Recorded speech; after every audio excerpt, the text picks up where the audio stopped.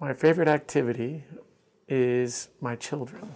So, this is two of my lovely children. I have four boys that I enjoy um, spending lots of time with. So, on the outside, I typically coach soccer and lacrosse, um, which kind of follows along with my passion of teaching.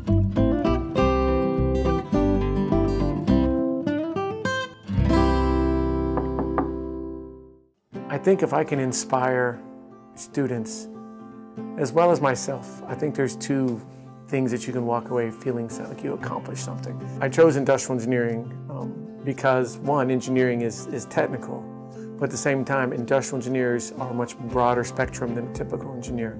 We're sometimes called the people engineering. I'm a people person. Um, I thrive. I, I don't ever desire to be alone. Uh, some people need quiet time alone for people to decompress. Um, I actually enjoy being around people I can decompress. I need people to come to my office hours. Come to my office hours.